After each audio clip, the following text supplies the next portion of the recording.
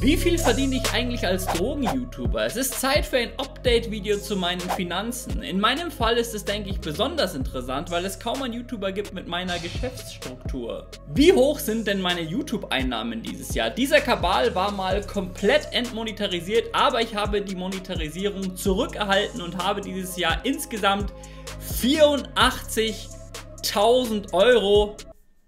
Nein, Moment mal. 84 Euro. 84 Euro mit YouTube-Werbung verdient. Also obwohl ich theoretisch Geld mit YouTube verdienen könnte, stuft YouTube kein einziges Video von mir als werbefreundlich ein, weshalb ich auf andere Einkommensquellen angewiesen bin. Wie sieht es bei mir mit Placements aus? Obwohl ich mittlerweile gar nicht so wenig Anfragen bekomme, habe ich nur das Insta360 Placement gemacht, weil das eine Marke ist, die ich richtig feiere. Dafür habe ich insgesamt, es gab Zeiten, wo ich sehr knapp bei Kasse war, wo ich Raid Shadow Legend Placements für unter 3000 Euro gemacht habe. Ich habe einen Amazon Seller Account, da war mein Gesamtumsatz 14.000 Euro. Wegen den hohen Verkäufergebühren und der hohen Rücksenderate von Amazon-Kunden macht man da aber nicht allzu viel Gewinn. Ich benutze Amazon nicht, um fett Gewinn zu machen, sondern teils einfach nur, um keinen Verlust zu machen, wenn sich Produkte schlechter verkaufen als erwartet. Ich hatte beispielsweise richtig viele Feinwagen für den Shop gekauft, aber die haben sich so schlecht verkauft, dass ich viele davon einfach bei Amazon reingestellt habe, damit ich zumindest nicht auf meinem Einsatz sitzen bleibe. Den größten Umsatz mache ich wirklich mit meinen drei Shops. Zum einen haben wir da den Open Mind Shop, da gibt es Open Mind Kleidungsstücke wie diese hier, die neueste Version des Projektor 3000, die Tripbox. Der Shop hat einen Gesamtumsatz von über 100.000 Euro gemacht, aber das ist der einzige Shop, wo ich den genauen Gewinn nicht sagen kann, weil ich das nirgends sauber aufgeschlüsselt habe. Das wird dann erst der Fall sein, wenn mein Steuerberater die Steuererklärung für 2022 fertig gemacht hat. Dann gibt es noch meinen Supplements Shop für Nahrungsergänzungsmittel wie After Rave oder seit kurzem Deep Sleep Spray. Hiermit verdiene ich so circa 1000 1000 bis 2000 Euro im Monat. Die derzeit lukrativste Einnahmequelle ist allerdings mein neuester Shop, der Open Mind Market. Obwohl es den Shop erst seit vier Monaten gibt, macht er den meisten Umsatz. Der Shop hat in den ersten vier Monaten bereits einen Profit von an die 50.000 Euro gemacht.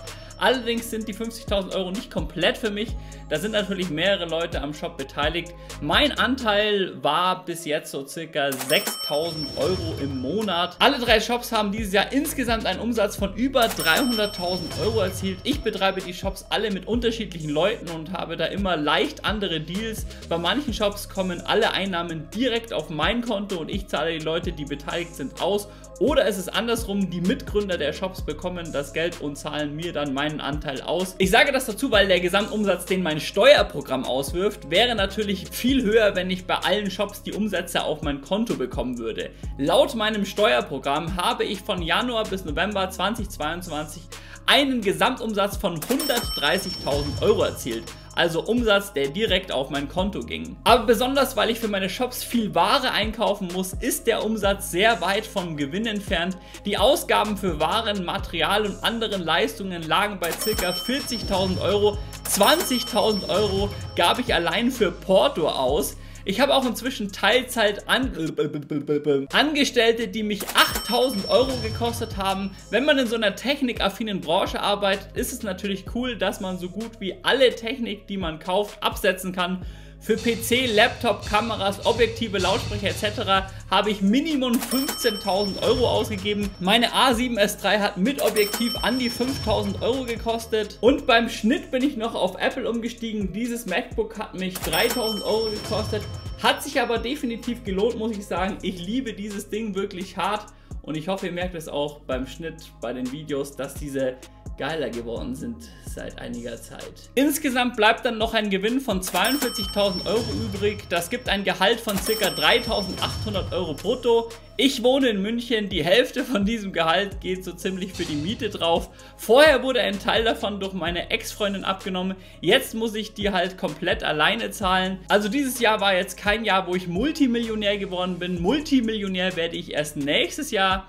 2021 lag mein Bruttogehalt bei über 5000 Euro im Monat. Ich gehe aber davon aus, dass der Open Mind Market weiterhin so gut laufen wird. Das heißt, über die nächsten Monate wird mein Gehalt um ein Vielfaches höher sein als die durchschnittlichen 3800 Euro von diesem Jahr.